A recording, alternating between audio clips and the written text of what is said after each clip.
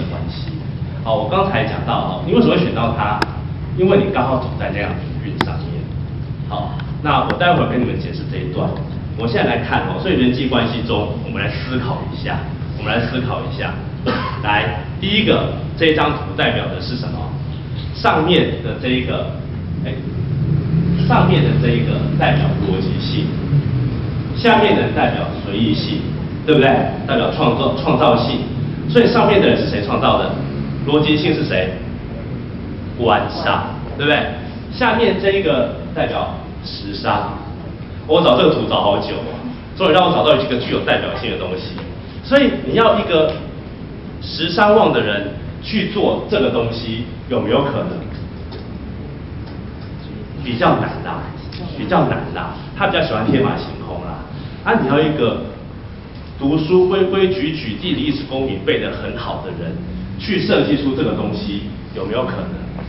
也比较难啦。所以这两种人，他天生就有这种冲突性。所以当他们相处的时候，就会开始产生这种冲突。所以做老板最聪明的就是让这两种人共事，然后他们两个会有冲突，但是他们两个也会互相制约，对不对？他会让上面这一个人不那么的死板，让下面这个不那么的随性，对。好，然后接下来，所以刚刚讲一个桃花源。碰上一个巴菲特会怎么样？好，他的他的冲突性就会出现。好，那一个是一个是充满理想性，他想做大事；一个是说我先把眼前的事做好再说。一个人是对于钱毫无观念，一个是对钱斤斤计较，计较的要死。其实没有谁对谁错，还是个性问题。好，再来，那我们再来思考。硬跟时尚的碰在一起会怎么样？那他们两个我刚才讲是一致性啊，他们是一致性，但是他们有没有冲突性？我这两张图代表是什么？一个这个是谁？贾贾伯斯对，那个苹果的创办人嘛，他就是一个标准硬的人，聪明哈。然后呢，下面这一个人，他是一个比较是时尚随性的人。这两种人，他们的最大冲突点是在于，一个人重视长远的规划，一个人重视眼前的利益；一个人重视动手做，一个人重视先想清楚。所以经常我会跟时尚旺的人讲说，你要加一点硬进去，加上一点硬进去会让你的行动变慢，想清楚之后再动手。我们经常讲，我们要 work smart，而不要 work hard。所以。像那种时尚旺的人，他就属于 work hard，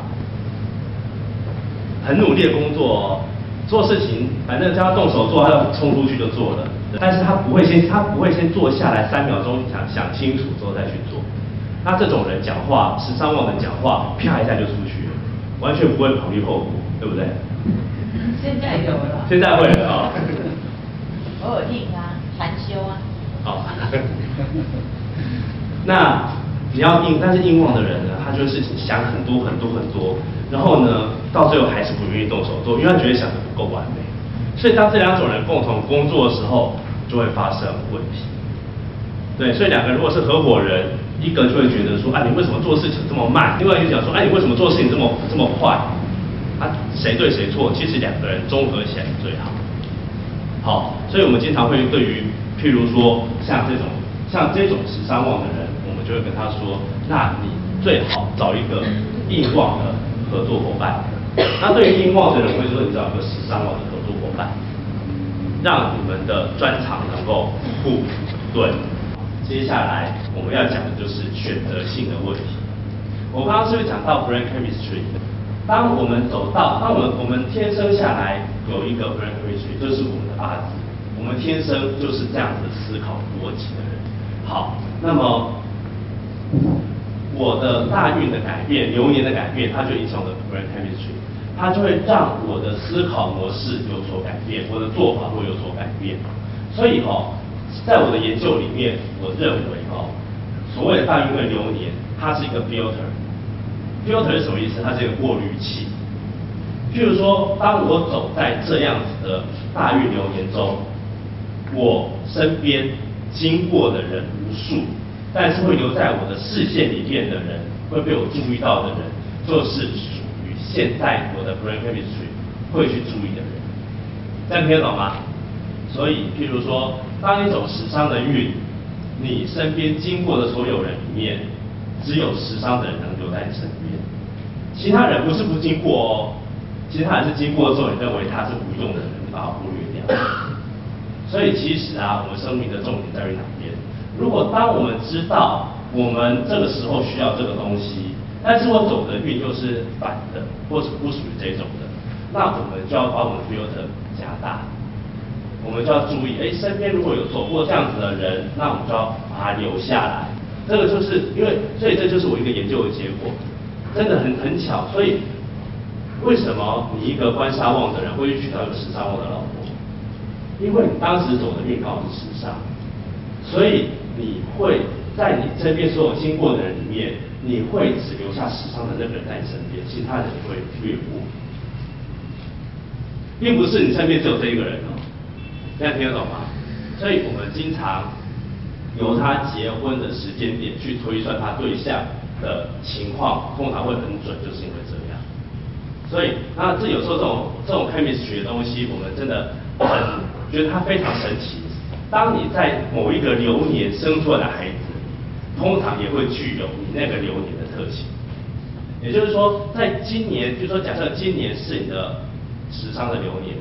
今年在你身边所出现的人事物都会属于这一种，而这种人有的带给你，带给你欢乐，带给你钱财，有的是带给你烦恼，好，那就看你命局的喜忌是什么，好，这就是我们经常在讲的一个大运的关系。但是大运的关系之前应该没有人去提到说它跟你的这个 filter 有关系，那这个也是我自己一个研究的结果，就是我觉得它是一个 filter，好。那所以接下来，我们来看一下哈，来，硬旺的人，我们就以爱因斯坦来作为一个表率，特别聪明嘛。当爱因斯坦你把它放在研究室里面会怎么样？做得非常非常好嘛，而且他自己会觉得非常非常快乐，对不对？好，所以这叫做他走在对的云上面，但是会不会赚钱？对，不一定啦。对，那如果他也，所以这种人，这种人走在这种运的时候，他通常会非常专心于研究他想要的东西。会不会赚钱，其实真的不一定，看他能研究出什么成果。这种人叫做将名求利啦。他如果能够研究出特别好的东西，他也可以成名。那这种人走这种运，通常我们就建议他去当大学教授啊，当研究员啊，会比较好。哦，那如果他这种人有这种运，然后他去那个银行卖理财产品当理财专员，会怎么样？会死，对，他会会做不好。好，那这个我们举例举这个例子是一个叫做官煞的运，就是说当他必须要去做一些跟官煞有关的事情，就是非常 routine，每天都做重复性的事情，他会怎么样？当一个硬旺的人，很聪明的人，他每天做这种重复性的事情，会觉得？受不了啦。对，因为他头脑非常聪明，非常活跃，就完全不能用啊。所以通常来讲，我们在硬旺的人身上哦，当他走到这种运的时候，他都会觉得是他一辈子最苦的运，每天都要乖乖坐在那边读书，然后每天都要乖乖坐在那边做一些他不是那么有兴趣的事情，但是又不得不做。好，那所以。这种运他会觉，其但是其实他经历过这个运，因为硬硬格有很多种用法，有一种用法叫做硬旺用官。那通常他经过这种运的时候，人生经过磨练，他会更成熟。所以这种运势反而通常是他上升的运势，但是他自己不觉得他是上升，他自己会觉得说这是我人生中很苦的时候，但是他忽略这个苦带给他背后的成就是什么。这种例子我遇过非常。然后当他，所以我觉得有时候人哈，明明自己应该最了解自己，但是到到最后发现，其实人真的不了解自己。我遇过很多硬望的人，当他走官运的时候，他就告诉一直告诉我他很苦，跟我诉苦啊，说那段时间他多苦多苦。然后我就跟他说，但是你有没有想过，你一生中成就什么时候是你成长最多的时候？他恍然大悟，真的是这段时间他成长最多。那个每天要求他、逼他的那个人，其实他的贵人，但是他自己不知道。好，最后这一张图片是什么？这张这这张图片哦，它是一个新闻事件啊。北京哦，呃，在北京的某一个地方，然后有人用了一个低俗的形象手法，派了一堆女生，然后穿着比基尼，然后在路上走路，然后呢，在屁股上还贴一个二维码，QR code，然后大家去扫。这个这个会不会吸引人家眼球？很吸引眼球，对不对？有没有人觉得对于这种说法非常嗤之以鼻？有没有？举手一下。好，谢谢。那有没有人觉得这种说法很好的？没有人敢举手，你看。其实说实话，我真的觉得还不错。所以你要这种人去想这种低俗的行销手法，他会觉得怎么样？他会不习惯啊。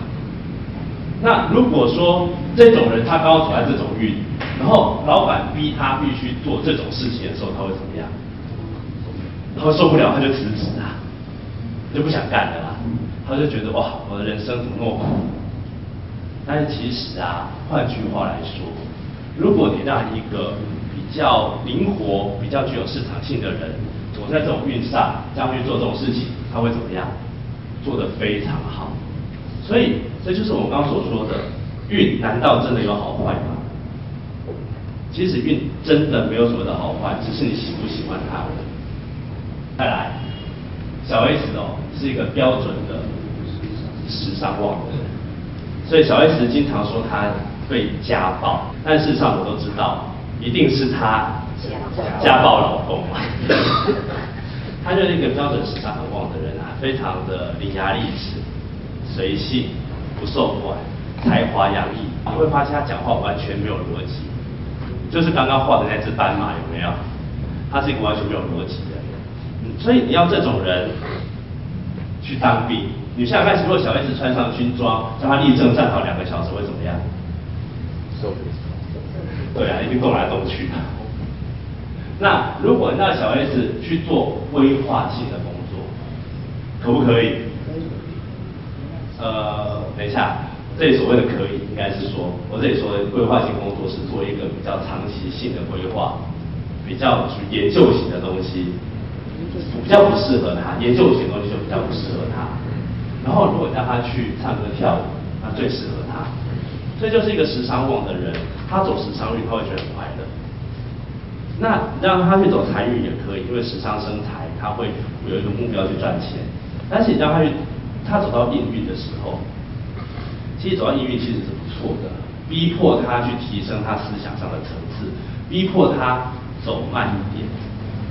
逼迫他不要那么急着做决定，他会觉得被压抑了。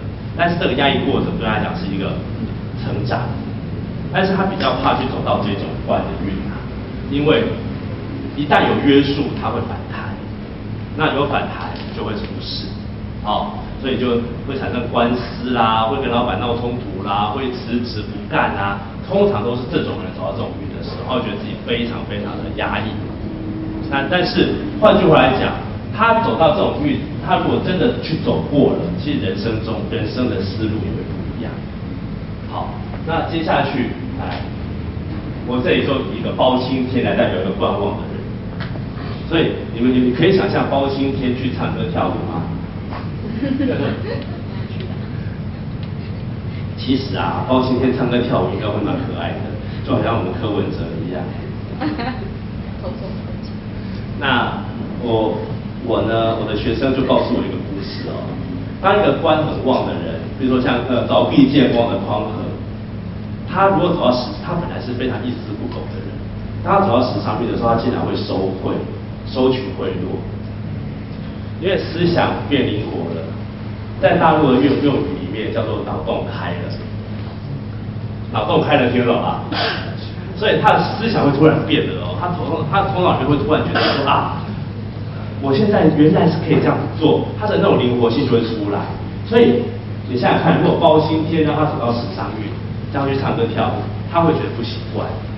但是呢，他这个经过思想上的变化，他反而可以去做出一番新的事业出来。他会变成本来是一个很有很懂得自律、很懂得自我要求、做事很努力的人，再加上他的灵活性又出来了。所以这就是我们经常在八字中听到的一句话，叫做“时伤自杀”。我学过八字，都听过这句话，对不对？但是也不知道时尚自杀是什么。我现在告诉你们，就是包青天学会唱歌跳舞的时候，叫做时尚自杀。这样懂哈？所以很多人赚大钱的人，都是八字原局时官煞很旺，很自律、很努力、很自我要求，但是不懂得变通。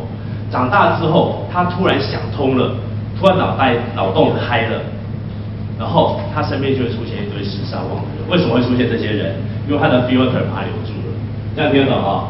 所以他就突然脑洞开了，身边出现了一些哎很灵活的人，然后帮助他把脑洞开了，帮助他思维上有所变化，这叫时尚时尚，就赚钱。然后呢？你要让这个观望的人去做行政记账工作，那没有问题的，因为他本来就是耐得耐得住寂寞的人。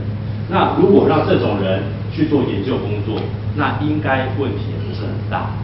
接下来，来我们看一下哈，所以说我后来我就去自己对于命理，我就发明了一个名词，叫做命运，而不是坏运。你们在古书上都会看到，这种人走这种运就会家破人亡，什么什么什么，有没有？那古人就把它称为坏运。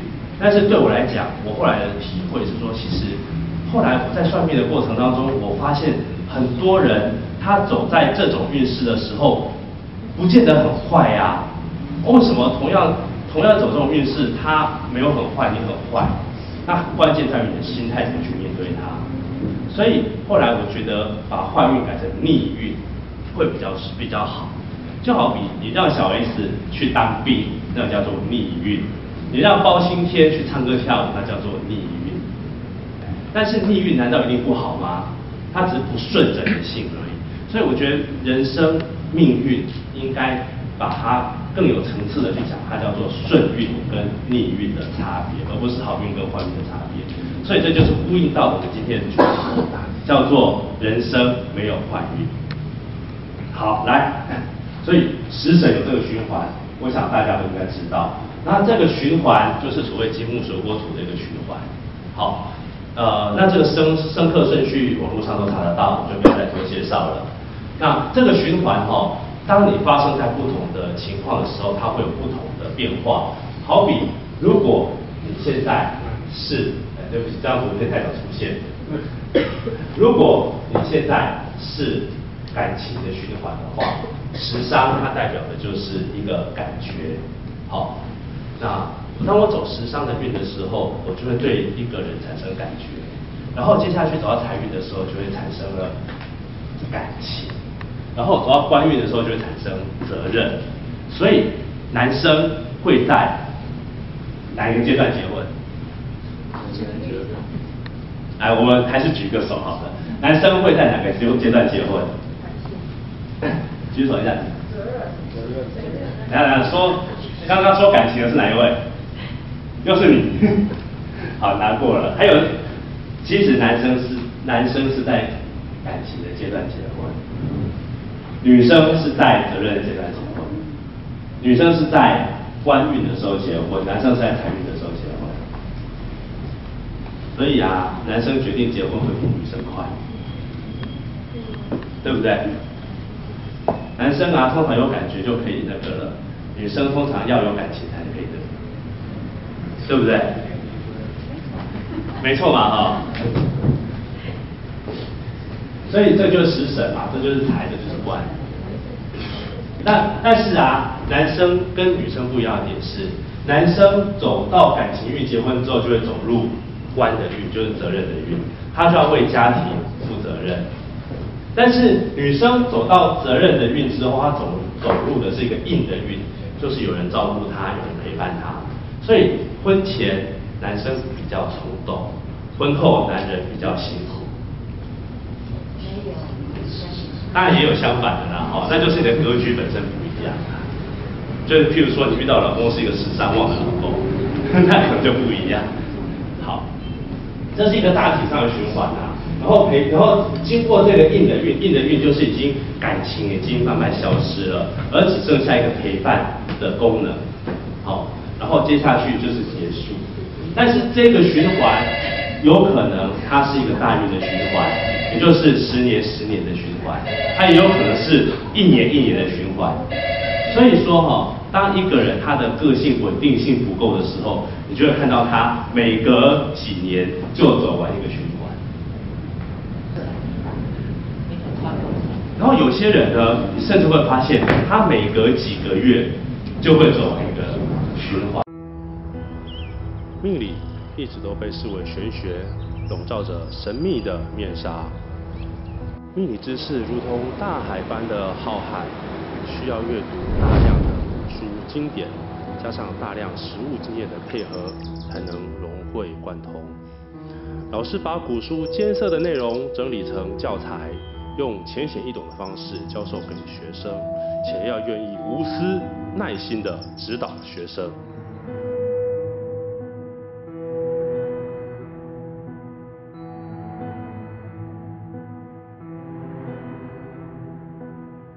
八字不好学，所以不能跟错老师。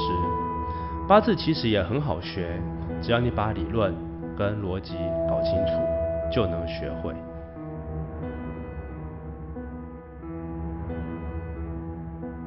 我是吴尚义，计算机工程硕士。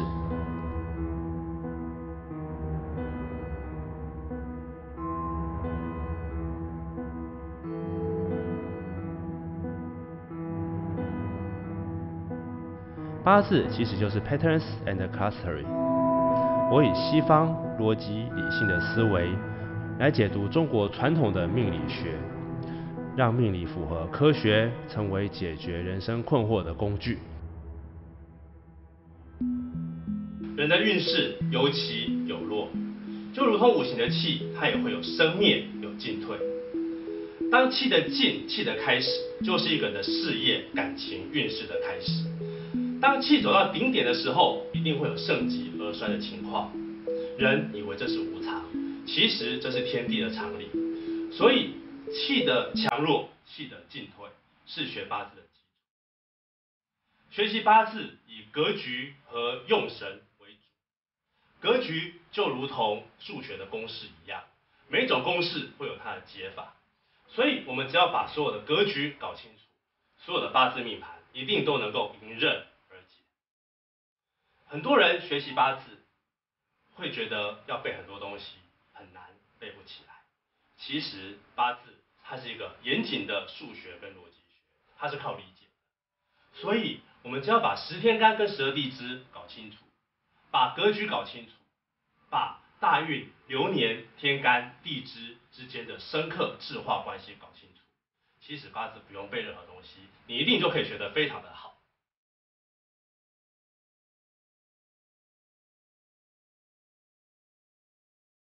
在互联网的时代，我以网络直播的方式对全世界学生做八字教学。只要你想学八字，我可以保证，吴尚义老师一定是你的最佳选择。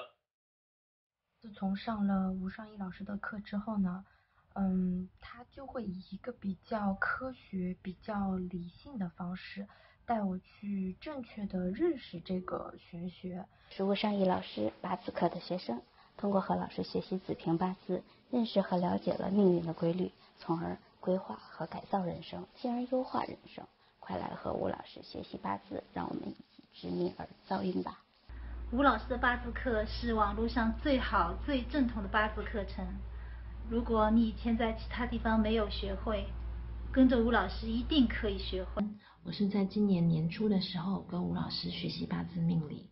在这之前，我曾经花了半年的时间跟另外一位老师学习八字命理。呃，可是我花了半年的时间呢，我完全看不懂自己的命盘。呃，在这里要非常谢谢吴老师，谢谢他非常的有耐心，然后非常的细心的指导我。呃，我住在呃英国的伦敦，我已经上呃吴老师的八字还有六爻卦的课上了一年多了。我是在 YouTube 上面找到吴老师的啦。其实到现在我还没有跟他见过面。刚开始有点担心会不会是什么呃诈骗集团，但是上了之后我真的很高兴，也很觉得自己很幸运能够找到吴老师。他这种教学的方式真的很好，然后他所有的课程是很 organized，然后很多 details。嗯，我觉得自己真的非常的幸运。嗯，I can recommend this course to everyone。我是吴老师的学生，我叫 Vicky，是做导游工作的。那么跟随吴老师学习八字有两年多了，我受益匪浅。那么在跟其他别的网站上是没法相比的。正如果能够看到吴老师的视频的话，大家都会喜欢的。希望大家能够跟随吴老师，呃，好好学习八字。吴老师很有责任感，对学生很尽心，课程内容都是干货，网络课程也很容易吸收。有一段时间，吴老师能用特别通俗易懂的语言，把特别难懂的古文知识给我们教给我们，我受益匪浅。上了吴老师的课，我觉得吴老师讲的特别生动有趣，嗯，深入浅出，非常容易的懂，呃，而且给我们的观念也特别的好，对我人生事业上都非常有帮助。现在呢，他在上海有做烧生呃状况。非常好，学生，所以呢，我在这里特别很郑重的、很正式的向大家来推荐他。各位如果想学习八字，呃，就跟吴尚义老师报名，绝对不会有错。